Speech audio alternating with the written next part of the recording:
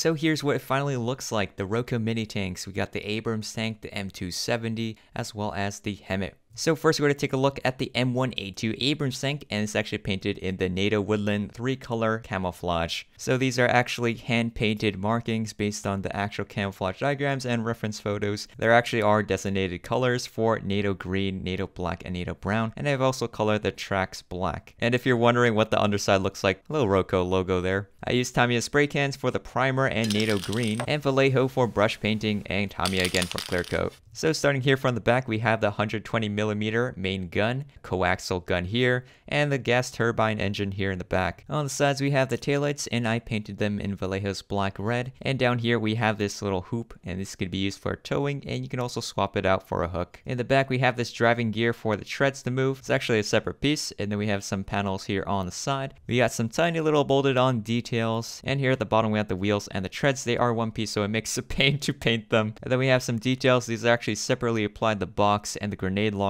as well as this basket here. We also got the spare tread and a spare wheel. Now I did find it interesting that the treads that they use are smooth, which are totally not accurate, and it should look a little more like this one. Alright, so now let's make our way to the front where we have some mud flaps over the treads, and then we have this panel here for unit identification, turret basket here filled with lots of little parts. We've got jerry cans for gasoline fuel, as well as some bags, some ammo boxes, and some random pipes. Now I did find it interesting that the NATO camouflage actually lines up with the turret even if it's facing backwards, so I guess it doesn't matter which direction that it is facing. Now let's go take a look at the roof. Here we have the gunner's sight, and then we have this hatch. This actually has a hole for the gun if you actually want to place it in there. Then we got the commander's thermal sight, and there is this gun mount for this other hatch. There are two panels here in the middle and some panels on the outer edges, and there's also this pole that sticks out. So I also made a second Abrams tank because one alone is not good enough. So here the spare wheels are actually in different places, which is custom like the real life one. And here's also a view of the back where we have some vents on the top. And for this one, I properly added the headlights, which you can see right here behind the bracket. This one also has a different variation of the camouflage, so it is slightly different. Although they are both based on diagrams, the real life ones are going to have some variation as well as I've seen in a lot of photos. Now, since it was a train load, I had the turret facing backwards, but just in case you want to see it in the normal position, here's what it looks like. Definitely the Abrams tank is one of my favorite military vehicles, and since we're in the front, we can actually see where the driver's hatch is. Now let's compare it to my Arttitec M1A one Abrams tank, which is painted in the iconic desert tan livery. So you can see all the intricate little details and the weathering of the painting versus my Roco one, which is made of plastic. The Arttitec is a more accurate version of the Abrams tank, so you can see the way they did the treads, that's how it's actually supposed to look, as well as the triangular slope right next to the gun that is actually too wide on the Roco. You can also see the spare wheel is very thin on the Arttitec, but thick and chunky on Rocos. So here's how they compare from the front angle. You can see this thing is not the same size as that. And here's how they look like from the side. NATO green, very clean, while Arttitec is weathered. And here's how they look like on the DODX 40000 series, flat car, and this can hold two of them. And here's how they look like from the front angle and the side. Definitely these cars look really, really nice with tanks on them. In addition to the Abrams tank, we have the M270 MLRS, or Multiple Launch Rocket System, and this is also painted in the NATO Woodland 3-color camouflage. So starting from the front, we got some headlights and the blinker lights, as well as some mud flaps. The cab windows are covered by shades, an armored window on the side, and a hatch on top. And we got this antenna here on the side, some nice bolted on details, and this hoop in the front. Now my favorite detail is actually this shovel here, just because it's a different color from everything else and just adds more detail. There also is this interesting pattern that's going on in the hole. It's like the zigzag pattern and goes down the back. Where you can see the rocket pods, there are 12 of them. It's actually twice as much as the HIMARS. Lots of little details like tail lights, the mud flaps, the hook, and this molded on towing cable. So on this side of the M270, we have these vents which are different from the other side. And here's how they look like from the front. Now to activate the M270's missiles or rockets, you lift this thing up, and then you can have a better view of the stuff that's underneath inside. And they are supported by hydraulics, one on each side, so there's two of them. And this definitely makes it look a lot cooler. Now there also is some details underneath, bit hollow section, and you can also twist this thing around so that it can fire from the side. Here's another view from the back and another one for the front.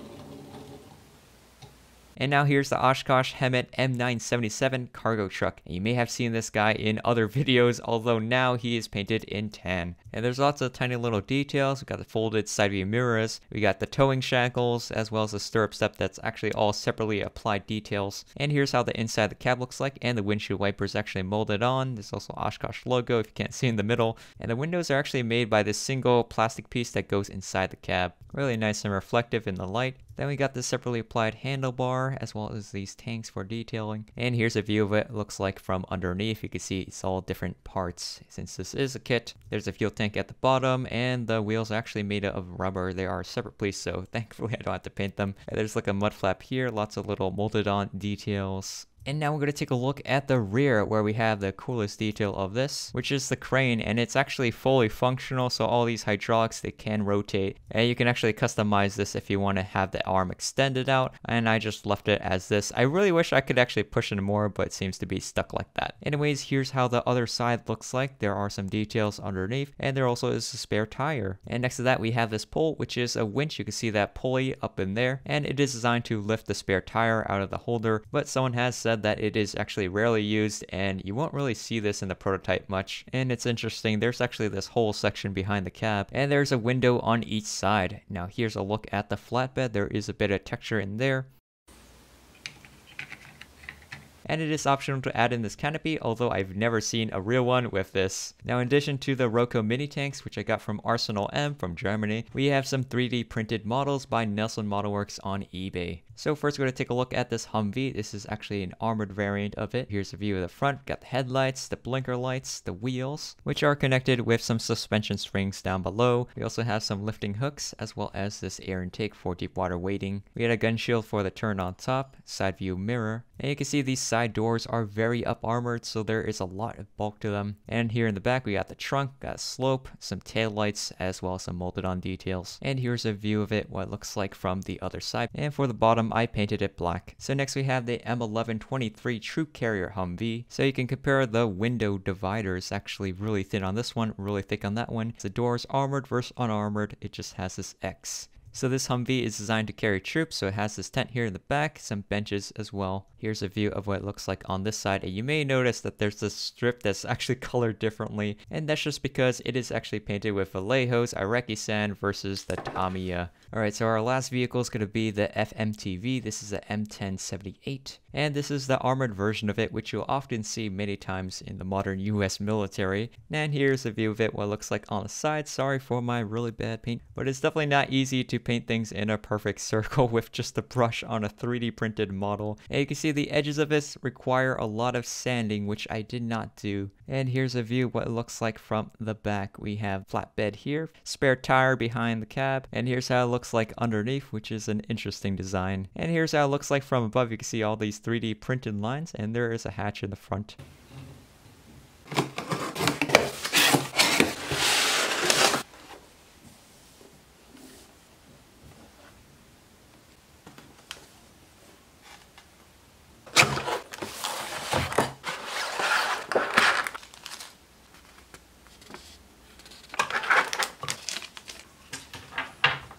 Alright, so with all the new vehicles, I needed another flat car to hold them, so this is an Atlas RTTX 89 foot flat car. And my first impression of this was that it is really, really long. Alright, so let's start here from the front where we have this coupler here in the middle, next to the airline hose, and there are some grab irons on the sides, a stirrup step underneath, and this gangplank on one side. There also is coupler cut lever. On the side, we have some printed detailing, as well as this jack pad. Then we have RTTX as well as the road number more printed detailings. And they go further down the car, you can also see a bit of the air brake detailing on the bottom, actually a line that goes all the way across. Then we have the TTX speed letter line logo and this handbrake on the side. So on the other end as well as the other side, they look pretty much identical to the other side. Just the only difference I really tell is like the air brake detail at the bottom, they're going to be different. So the inside of the gangplank is actually painted white. And there are also these two channels that run along. They actually have some holes on the inside. That's where you put in the trailer hitches. And there are some indentations on the outer edge of the car as well as some holes. This car does have a metal frame so it is quite heavy. Here's what it looks like underneath It is detailed down below with the ribbing and the spine as well as the air brake details. You can see this line that actually connects from each side and then here's what looks like all the way across the car. So it does come with some trailer hitches and this one is fully assembled. You can actually rotate it around. Unlike the other one where you have to actually glue everything together, here's how it looks like when it's on the actual car. And there's also a black version of it. It also comes with this really thin piece, which is actually a sidewall, as well as these things, which I actually don't know what it's for. But for the sidewall, you can just insert the pegs into the side of the hole, and here's how they look like.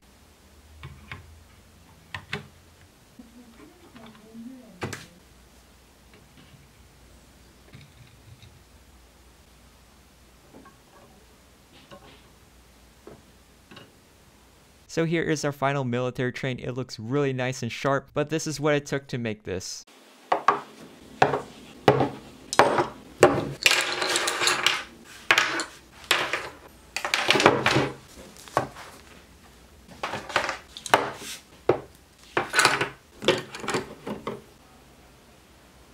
Oh, and also this Tamiya.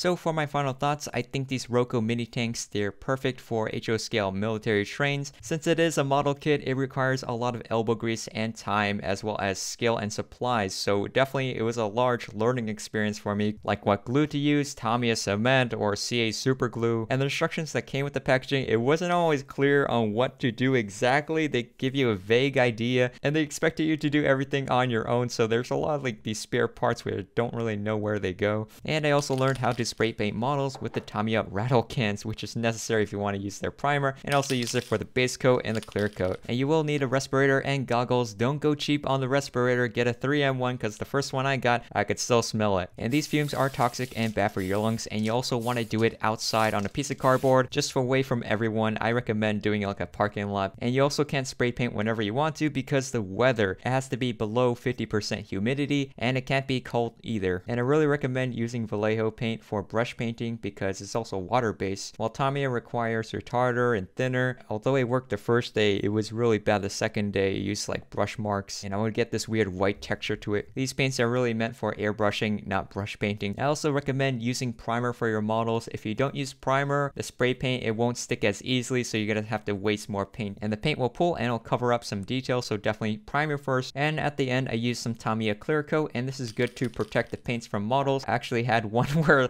hair got stuck into it and you can tell the clear coat works because that thing will not rub off. These models aren't the most accurate but they are pretty good for their price. Right now they're actually made by Arsenal M, the Abrams tank, and the M270 they were like $10 and they come from Germany. Originally my M270 MRS, they had just plain green because that's why I seen it in real life but honestly that's kind of boring so definitely go with the NATO camouflage because it looks really sick. As for the 3D printed models which I got from Mechsmith or Nelson Model Works, he actually sells a lot of these 3D printed models on eBay and I purchased them originally because their price was kind of fair but they do have some imperfections. I think they stand as a nice substitute if you want a military train but if there is a model kit version available or a ready-made model I would go for that one rather than 3D printed because there is a limit on what you can do with 3D prints and it is in one or two pieces so it's not going to be separately applied so you can't get that fine detail. There's definitely a lot of mistakes and lessons I learned making these models and if I did them again I would probably do them a lot better because I know what I'm doing. In the beginning I had no clue because this is actually one of my first model kits ever so it was a bit challenging. As for the Atlas 89 foot flat car I think it rolls pretty nice although I did have some problems with one car always derailing so I'm not sure why that is. It's only in one section of the track and also had some incidents where the trip pins would strike some pieces on the track which it shouldn't do so I'm also going to get a coupler height gauge just to make sure everything's alright. Uh, but yeah that's my experience on making this military model train. I hope you guys enjoyed the video. Definitely took a lot of time and effort to make this so I appreciate it if you hit that like button down below and leave a comment what you guys think. Let me know if you guys are interested in future military trains because I am open to that. Subscribe if you want to get notified of future videos and anyways I'll see you guys in the next one. Bye.